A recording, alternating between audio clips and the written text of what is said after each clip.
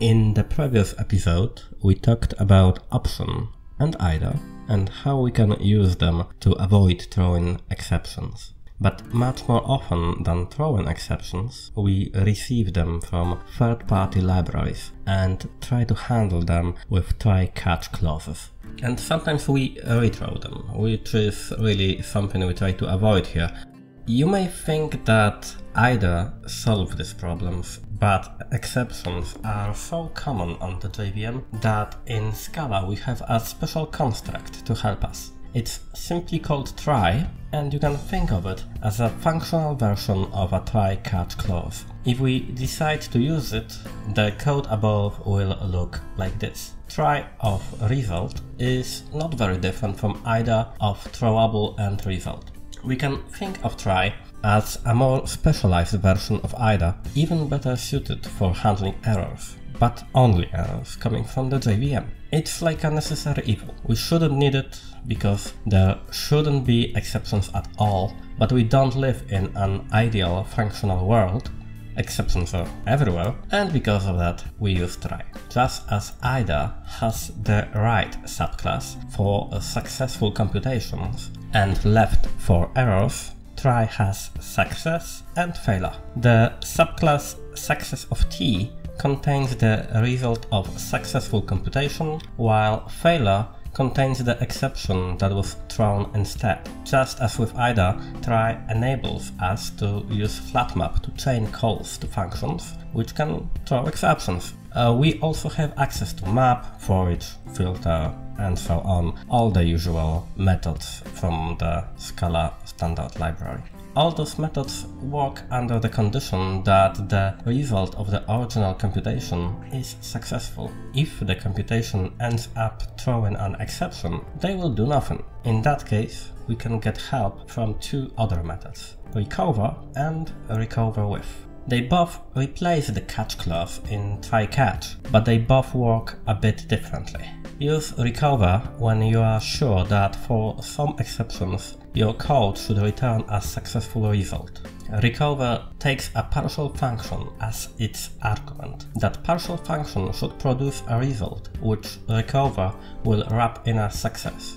For all other types of exceptions unsupported by the partial function, the result will still be a failure. Recover with allows for more flexibility. It accepts a partial function which alone can decide if its result should be a success or a failure. You can imagine that recover is map for exceptions, mapping them to results, which are then wrapped in successful tries, while recover with is a flat map. It flat maps exceptions to successful or failed tries. On the other hand, if you don't care about errors at all, and you only want to get the valid result from a method which can throw an exception, you can turn a try to an option. In short, always use try instead of try catch clause. In all three cases above, option, Either and try, as well as in case of other constructs, collections, futures, event streams, we can use flat maps to chain together several functions that take some arguments and produce the construct of the same kind. I gave an example of it in the previous video, but only a very trivial one. Three functions, each taking one argument, produced by a function before, and producing a result which is used as the argument in the function after them. This looks very clean and nice, but in reality those flat maps can become much more complicated. There can be flat maps nested in flat maps, we may need to perform some operations in between them, and we may also need to use results of more than one function as arguments. Here is a more real-life example taken from the Wire Android codebase. We get the members of a team of the given ID, we flatmap that resulting sequence of members to a call to get user data from the storage. So for every member of the team we want some kind of a user data and then we flatmap that sequence of user data again, but this time we first need priority levels from the team and having together user data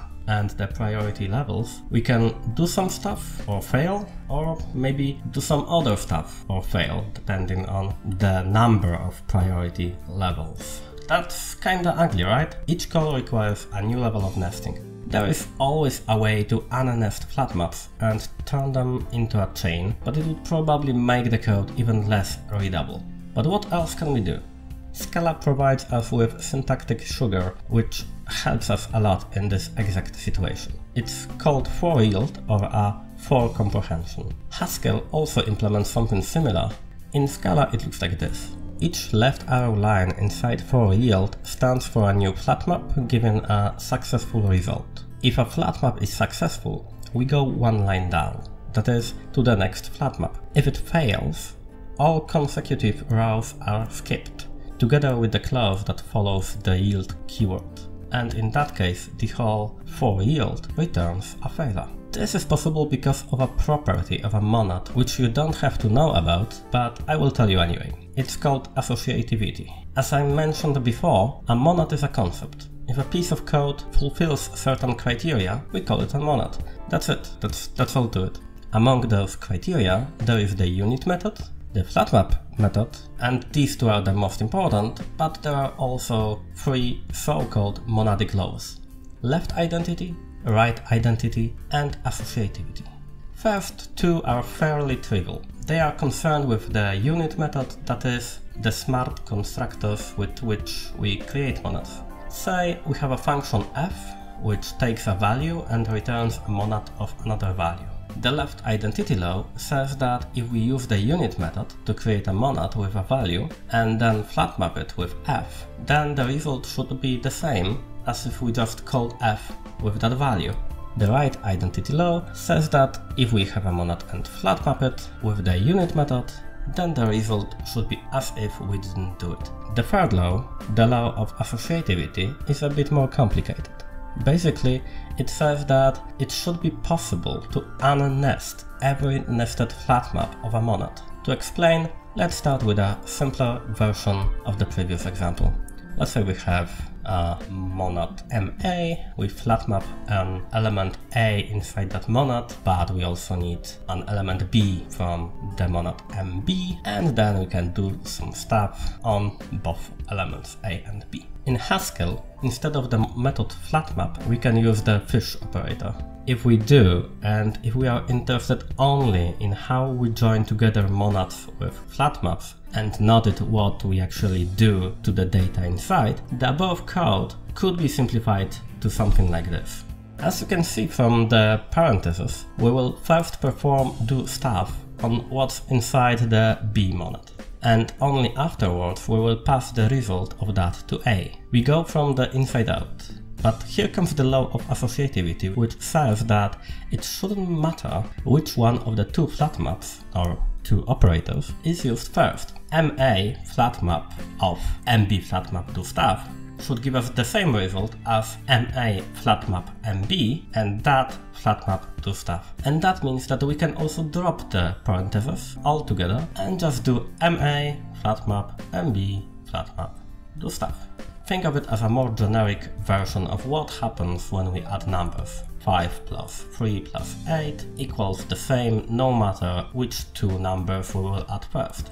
But not every operation obeys this rule, for example subtraction doesn't. But if we work on monads, the flat map operations do, they should. In our case, it means that the nested code, like this, can be refactored to this.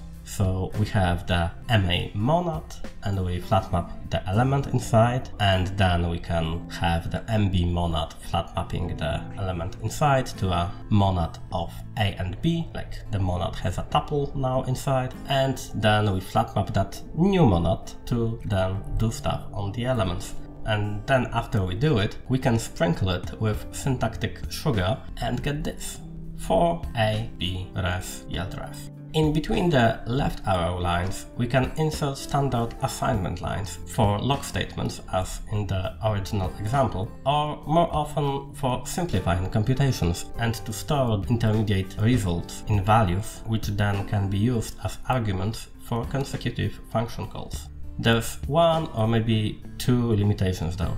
The first line in the for yield has to be a left arrow line because this is how the Scala compiler figures out what kind of a monad to use. After all, option of flatmap requires us to return option. Either of flatmap requires us to return either, and so on. This is determined by the first line of for yield. And also, it means that you have to be careful not to mix different kinds of monads in one for yield. It's very easy to do, and it leads to cryptic compilation errors. But at least they are compilation errors, and not some tragedy happening at the runtime. It's also possible to do pattern matching on data returned by the left arrow and make further actions only if certain conditions are true. For example, you may have an option of boolean and want to go on with the for yield only if it contains true. Let's say we have the check setting method that will uh, give us the option of boolean and we check a setting constant is recording allowed. The line true left arrow check setting settings is recording allowed will be passed only if check setting returns some of true. If it returns some of false or none, the rest of for yield will be skipped. There's only one more topic I want to cover in this series. It's a bit on the sidelines of what functional programming is about, but I thought it's interesting enough to include it. It's composition over inheritance coming up next.